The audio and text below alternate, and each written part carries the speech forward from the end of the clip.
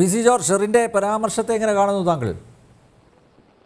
ഷെറിൻ പറഞ്ഞത് നമ്മൾ എങ്ങനെ എതിർക്കും നമ്പ്യാരെ? ഞാനിങ്ങനെ ആലോചിക്കുകയാണ്. ഷെറും ഷെറിൻ പറഞ്ഞ എന്നെ തെറ്റ്? ആയ പോലീസുകാരെ ലോക്ക് ചെയ്തിട്ട് കത്തിക്കാൻ തുടങ്ങുക. എന്റെ അഭിപ്രായത്തിൽ അവിടെ എന്തുകൊണ്ട് പോലീസ് വെടിവെച്ചില്ല എന്ന് എന്റെ ചോദ്യം.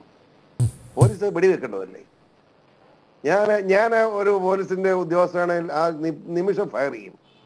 അഞ്ഞൂറോളം ഗുണ്ടകൾ ഇറങ്ങി ഈ അതി ഈ അതിഥി തൊഴിലാളികൾ എന്നെ അതിഥി തൊഴിലാളി ഒരു അതിഥിയല്ലേ ഇവനൊന്നും? റൗഡിസം കൊണ്ട് നടക്കുന്ന കള്ളും കുടിച്ചേച്ച് ഉളത്തരം കണിച്ചാൽ റൗഡ് എന്നെ അതിഥി തൊഴിലാളി അതിഥിയൊന്നുമല്ല ബംഗാളി തൊഴിലാളികൾ. ഇമാർ ഇത്രയും വലിയ റൗഡിസം കാണിച്ചിട്ട് പോലീസ് നോക്കിയിരിക്കുക പേടിച്ചിട്ട്.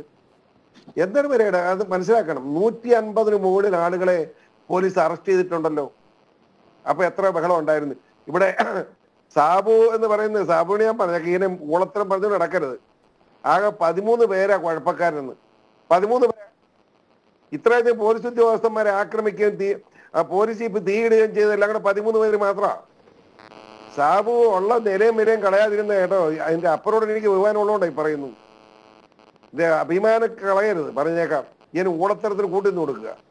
ആ പോലീസ് ഉദ്യോഗസ്ഥന്മാർ വെടിവെക്കാതിരുന്ന് എന്തുകൊണ്ടെന്ന് അത് അതിപ്പോ ഡി സി സിയുടെ നേതാവ് പറഞ്ഞ് ശരിയാണോന്ന് എനിക്ക് സംശയമാണ് അവിടെ പങ്ക് പറ്റുന്നുണ്ടായിരിക്കും? എസ് പി നേരിട്ട് ചെന്ന് കഴിഞ്ഞപ്പോഴാ ഇവരൊക്കെ മര്യാദയായി അടിച്ചൊതുക്കിയില്ലേ അങ്ങേര്?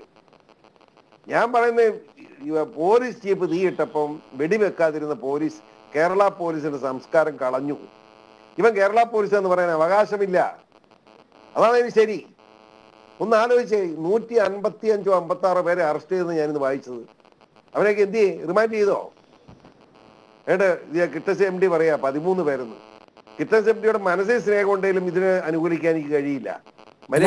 പറഞ്ഞത് അതായത് ഇതിൽ ഒരുപാട് നിരപരാധികളെ ഏത് നൂറ്റമ്പതോളം നിരപരാധികളെയാണ് അറസ്റ്റ് ചെയ്തിരിക്കുന്നത്. ഇനിയിപ്പം നാളെ ഇവർ ഏതൊക്കെ സംസ്ഥാനത്തിന്റെ പ്രതിനിധികളാണോ ഇവിടെ നിന്നൊക്കെയാണോ വരുന്നത് അവരുമായിട്ടുള്ള കേരളത്തിന്റെ ബന്ധം ഒരുപക്ഷെ അസുഖകരമായ അവസ്ഥയിലേക്ക് പോകും.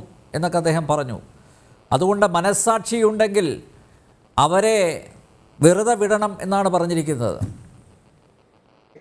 ഇത് കൂടെ- ഇതുകൂടെ കേട്ടപ്പോ എനിക്ക് കിറ്റസ് എം ഡി ഉണ്ടല്ലോ അവരെ ചേവുക്കുറ്റിക്ക് അടി കൊടുക്കാൻ തോന്നുന്നുണ്ട്. ഇവരെ നാല് മൂന്ന് നാല് മൂന്ന് ഏഴ് തൊഴിലാളിയാണോ സംസ്ഥാനം തമ്മിലുള്ള ബന്ധം നിശ്ചയിക്കുന്നത്? ഇവൻ ആരാ? എടാന്നാ ഒരു പഞ്ചായത്ത് രണ്ട് പഞ്ചായത്ത് ജയിച്ചെന്ന് ഇത്ര ഊടത്തരം പറയാറായോ? ഒരു കിറ്റസ് എം ഡി ഹാ തൊഴിലാളി തൊഴിലാളി പിടിച്ച ഞാൻ ചോദിക്കട്ടെ നമ്പിയാർ ഇത്രയും പോലീസിനെ ആക്രമിച്ച തൊഴിലാളികളെ അറസ്റ്റ് ചെയ്തപ്പോൾ അത് മുഴുവൻ ഫ്രീ ആണ്. വിടണമെന്ന് പറയാൻ ഇവൻ എന്നാ കാര്യം? മനസ്സിലായില്ലേ? ഞാൻ ആദ്യം നമ്പിയാർ കേട്ട കിറ്റസിന് അനുകൂലമായി പറഞ്ഞ ആളാ ഞാൻ. ആ ഞാൻ മനസ്സിലാക്കിക്കോളും. എന്താ ഈ കേരളമല്ലേ ഇത്? ഇവിടെ ജീവിക്കട്ടെ മനുഷ്യന്? എന്ത് ഡോമിനിസം കാണിക്കാന്നോ? പോലീസിനെ ആക്രമിക്കുക. ആ പോലീസ് ഒൻപത് പേര് പോലീസ് ഉദ്യോഗസ്ഥന്മാർ ജയിൽ സർക്കിൾ ഇൻസ്പെക്ടർ ഉൾപ്പെടെ ആശുപത്രി കിടക്കുക. മെഡിക്കൽ കിടക്കുക. എന്നിട്ട് അവർ നിരപരാധികളാന്ന് പറഞ്ഞാൽ പറയുന്നവനിട്ട് കൊടുക്കണം. മനസ്സിലായോ?